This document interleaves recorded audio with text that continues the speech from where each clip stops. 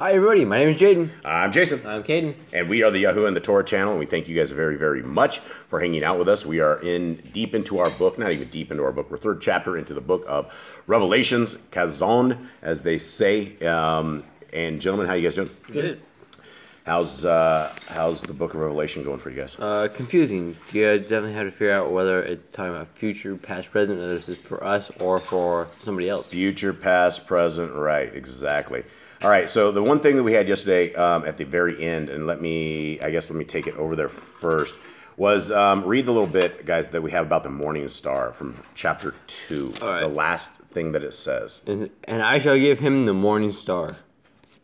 That's it. That's it. Okay, and we didn't know exactly what that was exactly, and so we had Brother Glenn, and he wrote up this huge thing. One part of it with um, the answers to the Acts, where they were uh, people think that Gentiles only have four laws, which is crazy because we have all the same laws that everyone else has, um, and you don't want to be a Gentile. You, there's no house of Gentile, there's no house of Christian, there's no house of Mormon, there's no house of Catholic. There's a house of Yahuda and a house of Yisrael. You got to pick one of those houses. Okay, so when it talks right here about the morning star, um, this is what Brother Glenn says. Why does the Bible use morning star to refer to refer to both Yahushua and Satan? Revelation 22:16. I, Yahushua, have sent my messenger to witness to these matters in the assemblies. I am the root and the offspring of Dawid, the bright and morning star. Revelation 2:28, verse uh, 27 starts at 27. And he shall shepherd them with a rod of iron, as the potter's vessel shall be broken to pieces. And I also have received from my Father, and I shall give him the morning star. And then in Isaiah 14, 12 through 15, it says, How you have fallen from the heavens, O uh, Hailel, uh, which, which is H1984, the morning star, Lucifer, son of the morning. You have been cut down to the ground. You have laid low the Gentiles. For you have said in your heart, Let me go up to let me go up to the heavens. Let me raise my throne above the stars of El, and let me sit in the mount of meeting on the sides of the north. Let me go up above the heights of the clouds. Let me be like the Most High. But you are brought down to the grave, to the sides of the pit. In ancient times, the idea of a morning star was one of a bright star that outshines others. In Isaiah, the poetic structure of chapter 14 uses the phrase to describe the greatness of Satan prior to his fall, in contrast with his evil and rebelling against Yahuwah. In Isaiah 14:12, we read, "How you are fallen from heaven, O day star, son of dawn." The King James and the New King James versions use Lucifer, son of the morning, in place of, of day star, son of dawn. The larger context of this passage is traditionally interpreted as referring to Satan as and his fall from heaven. Job 38:4 Where were you when I laid the foundations of the earth? Declare if you have understanding. Who set its measurements, if you know, or who stretched the line upon it? Upon what were its foundations sunk? Or who laid its cornerstone when the morning stars sang together and all the sons of Elohim shouted for joy? With Yahushua, the concept of the morning star is used to also note his greatness. This is clear from the other title used of him in the same verse, the root and descendant of Dawid. Of great importance, importance is the fact that Yahushua is noted as the bright morning star. His greatness is far above all others. Satan could not stop, cause Yahushua to sin, could not stop his plans, nor defeat him through death. Satan will ultimately be defeated by Yahushua and cast into the lake of fire. Revelation 27 through 10. It is important to note that also using a similar idea to compare both Satan and Yahushua does not mean they are similar. The same idea of comparison is even used in the Bible with Yahushua and Satan with another idea, that of lion. In 1 Peter 5 8, Satan is described as a roaring lion who seeks to devour believers. Yet Yahushua is also called a lion, the lion of the tribe of Judah in Revelation 5 5. Both Satan and Yahushua are powerful, yet the power of the Messiah is infinitely greater. Colossians 1 16 through 17 teaches, Because in him were created all that are in the heavens and that are on earth, visible and invisible, whether thrones or rulerships or principalities or authorities. All have been created through him and for him. And all is before him, and and in him all together hold, all hold together. John 1 3 5 adds, All came to be through him, and without him not even one came to be that came to be. In him was life, and the life was the light of men, and the darkness, and the light shines in the darkness, and the darkness has not overcome it. Um, let's see. This one, yeah. So I'm going to leave it at that because that. So does that make sense to anybody out there, No, gentlemen? I think so. I think that So the morning, we didn't know exactly why he was called Morning Star or, or why, you know, we there's a weapon of war called the Morning Star, which we were kind of laughing at. That why is that? But that's that's not it. And so um, essentially, it's you know greatness, right? And um, I guess Satan was very great in his in his past, right? But he's he's never going to be as great as our Creator, and never as great as the Creator's Son. Okay, you guys ready? Yep. Here we go. And for those who do not know, the again, we're in chapter three. The churches that we're talking about right here have come and they've gone.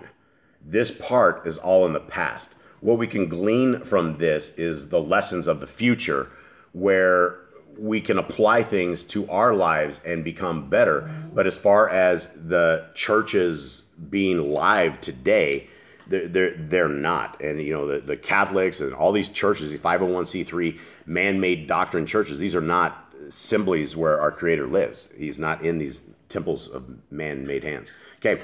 And to the messenger of the assembly in Sardis, write He who has the seven Ruach of Elohim and the seven stars says this I know your works, that you have a name, that you are alive, but you are dead. Wake up and strengthen what remains and is about to die. For I have not found your works complete before Elohim. Remember then how you how you have received and heard, and watch and repent. If then you do not wake up, I shall come up on you as a thief, and you shall not know at all what hour I have come upon you. Nevertheless, you have a few names in Sardis who have not defiled their garments, and they walk with me in white, because they are worthy. He who overcomes shall be dressed in white robes, and I shall by no means blot out his name from the book of Kai, but I shall confess his name before my Father and before his messengers. Okay, there's a huge thing right here, right?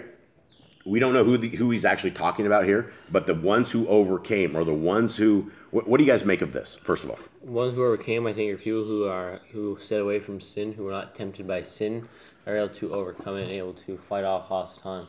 Right. And here is a little thing about this son of our creator, right? He is going to be the guy, he's our uh, essentially our attorney. He's our he's our advocate when it comes to the end times. This is where we're talking about we want him to confess our name before his father and before messengers. Now, this is a Trinity breaking verse because if Messiah Yahushua was the Father, then again, he just gave us a little bit of deception, right? He deceived us because he's not going to confess his name before his Father. He's going to think about his name because he is the Father, right? So we have to get all these scriptures and we have to get this stuff dialed in. We got to get rid of this satanic doctrine of the Trinity. It's just, it's a mess. And there's nowhere in scriptures, not a place that when you read scriptures all together, that you can finalize and formulate that our creator and his son are the exact same people. It, it just it's it doesn't say that anywhere. Okay. So when the people that are loyal to our creator and his son, when Messiah comes, he's going to advocate for them. He's going to confess their name and he's going to also confess it before the messengers. That's a huge thing, right? How about a little esteem in front of all these all these entities that you don't know, but that, that probably know you? and all of a sudden you get a shout out from the Son of the Most High. What a what a what an honor. Six. He who has an ear, let him hear what the Ruach says to the assemblies. And to the messenger of the assembly in Philadelphia, write: He who is Kodesh, he who is true, he who has the key of David, he who opens and no one shuts, and shuts and no one opens, says this. Okay, um, so what is he saying? He who is true, he who has the key of David. So this is Messiah saying this, right? Yeah, right. And there's like some door that that closes and never can be opened. Right. I know your works. See, I have put before you an open door, and no one is able to shut it. That you have little power, yet have guarded my word and have not denied my name. That's a huge thing, right? A lot of, we're living in a world where not only people deny it, but the people will take the name of our Creator as a superlative curse word, and um, it's I, I, that's not even denying the name. That's just, that's that's even worse. It's, you know, making jokes about it. Nine. See. I am giving up those of the congregation of Satan, who say they are Yahudim and are not, but lie. See. I am making them come and worship before your feet, and to know that I have loved you. Wow. What do you guys make of that? Okay. Um, when your enemies come and worship you, they come to your feet and worship you. That means they've been defeated, and Yahushua was going to defeat the people that are not following Torah. Yeah, what a, what a scene this would be. What a scene this would be. It would be amazing if we were able to partake in this this kind of a, a, setup. That's the fake people who say they believe Yah, who do say they do the works of Yah, but then do evil. It's Yeah. kind of people. Yeah. 10. Because you have guarded my word of endurance, I also shall guard you from the hour of trial which shall come upon all the world to try those who dwell on the earth. All right, what is, what is he saying here, guys? He's saying that because if if these people here in Philadelphia were uh, guarding the Torah, he said he's going to protect them. Yes, and that's true. That's the promises we get from Yahuwah is that if we are following the commands and we are doing as he said, we will be we will have protection from Yah. Yeah, absolutely. Does that mean that nothing happens, that we don't have struggles or trials or uh, days of darkness and depression and things of that nature? No, not at all. That means that means we will still have trials, but we will be protected from Hasatan. We will be have more protection from Yah than a regular human that does not follow Torah would have. Yeah, and you know the problem. I guess it's not a problem, but I guess the the effects of living in the Torah is that you are going to be tested probably more than those who are not, um, simply because you are a child of the Most High, and Hasatan does not want that. Okay, eleven. See, I am coming speedily. Hold what you have, that no one takes your crown.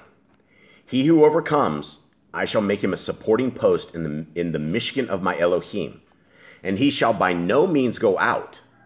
And I shall write on him the name of my Elohim and the name of the city of my Elohim, the renewed Jerusalem, which comes down out of the Shamaim from my Elohim and my renewed name. Wow. Okay, this there's, is future. there's a lot of stuff right here. Yeah, this is the future. Um, what do we make of this right here? Here, hold on. Eleven. What's it say? He who overcomes.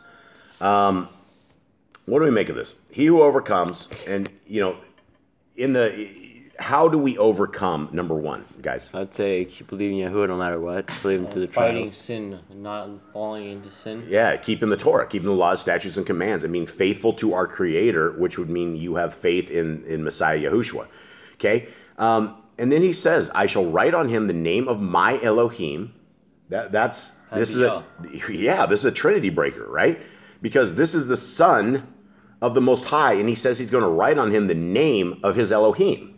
Right? If he was Elohim, he would say, "I would have my name on my chest. You would see who I am." He's not Elohim Most High. Okay? And the name of the city of my Elohim, right? This is our this is our home, right? This is this is what we're looking for, right? When when a when a city comes out of this of the sky and sits up on top of Mount Zion and the whole mountain structure is reformed and everything is up there, um, it's going to be amazing. And that's where the whole world will come and that's where everything will be. Anything anyone else have anything on this? This is it. No, I think you got it. Um, it says I. This isn't like us going to heaven. This is like the city coming down. Like let your will be and your kingdom come. Yeah, this this is no there's no there's not there's no rapture like this this is not the, the Christian rapture by any means, right? If you tell the Christians that they're not going to be taken off to heaven, um, they won't have any idea what you're saying. That's the scary thing to think you have comfort when there is no comfort. Where you think you're you're going to be saved from trials and tribulation. You think you're going to be protected, and when when when you think it's time and nothing happens, you're still stuck here, and you have to now figure out to the end of what's really going on. It's a scary thing. Yep, you had Christians in 2019, 2020, 2021, 2022 who did absolutely nothing when the world was changed because they wait for this rapture. They don't think anything's going to happen. They don't think they're going to see trials and tribulations. They think they're just going to make it out of this place without a scratch on them um, because that's what the man in the pulpit has told them in the lies of the doctrines of this. Okay, 13. He who has an ear, let him hear what the Ruach says to the assemblies. And to the messenger of the assembly in Laodicea, write the Amen, the trustworthy and true witness, the beginning of the creation of Yahuwah, says this I know your works, that you are neither cold nor hot. I would that you were cold or hot. So because you are lukewarm, and neither could could nor cold nor hot, I am going to vomit you out of my mouth. All right. Um, this is to one of these churches, right? Yes, Because it's to a church, what can we take from this? um, We we can take take, the examples of what they did wrong and what we shouldn't do. Right? And what did they do? They were not with yeah they were they sound like Christians. They sound like modern day Christians. They, They were were lukewarm. they were half and half out. They didn't really want to be there, but they wanted to be there. But they really wanted to do what the world did as well. Well, Christians want to be there. They just don't want to keep the law, statutes, and Right? commands They of our want to do what Creator. the world does. Well, yeah, because that's what their religion has told them. They can do what they want, and uh, obedience means absolutely nothing to, to a Christian. Okay, 17. Because you say, Rich I am, and I am made rich, and need none at all, and do not know that you are wretched, and pitiable, and poor, and blind, and naked. I advise you to buy from me gold refined in the fire, so that you become rich, and white garments, so that you become dressed, so that the shame of your nakedness not, might not be shown, and anoint your eyes with ointment, so that you see. Okay, this is huge stuff right here, right? Um, what what do we make of this, right? Part of this is we're going to be naked before the, our Creator at some point, right? And we don't want to be naked. We want uh, Right? It's the rich people. If people say I'm rich and I made myself rich, I'm saying Yahuwah blessed me, like that. You'll end up naked in front of Yahuwah. Yeah, ab- absolutely. You are, and, and that's the thing is, it doesn't matter how much gold is that. Which dog is that? It doesn't matter how much gold or silver you have. At the end of the day, it's all going to end up back into somebody else's hand, and you're going to become a grave with with uh, you know in a grave with uh, worms eating you know through your eyes and things of that nature. So you're you're you're done. Nineteen. As many as I love, I reprove and discipline. So be ardent and repent. Okay? So, you know, if you are going through trials, things in your life, and you're not keeping the Torah, perhaps that's your clue. Perhaps if you're not keeping Genesis, Exodus, Leviticus, Numbers, Deuteronomy, and you don't have the obedience of our Creator, and life is upside down, everything is going completely wild, um, maybe it's time to look into that Torah. Maybe it's time to repent from the wickedness that, that we're into and change our life so that our Creator can be happy that He reproved us and disciplined us and we learned from it. Because many people get reproved and disciplined and they don't know why and they continue on in their ways. But there is a creator out there and he is knocking and, and hearing. 20 see i stand at the door and knock. If anyone hears my voice and opens the door i shall come into him and dine with him and he with me. Okay that's a huge christian verse right there. Christians will have this all the time. This is this is this is what the christians say. Yes stand at my door and knock. If anyone hears my voice and opens the door. What okay so somebody opens the door or hears his voice. What is his voice going to say? Depart from me. it could be depart from me but prior to that if somebody hears the voice of messiah what does the voice of messiah say? It's gonna say keep the Torah. yeah, keep the Torah, keep the laws, statutes, and commands of my crea- my Father, and um, the, he's not going to come and dine if you've been uh, belligerent in the Torah. If you are a, a sinner and you you know if you've had your chance to to change and you refuse to, don't expect that you're going to have a dining spot with Messiah. Twenty one. To him who overcomes, I shall give to sit with me on my throne, as I also overcame and sat with my Father on his throne. He who has an ear, let him hear what the Ruach says to the assemblies. Okay, let's go back up to 21 real quick. To him who overcomes, I shall give to sit on with me on my throne. He says, my throne.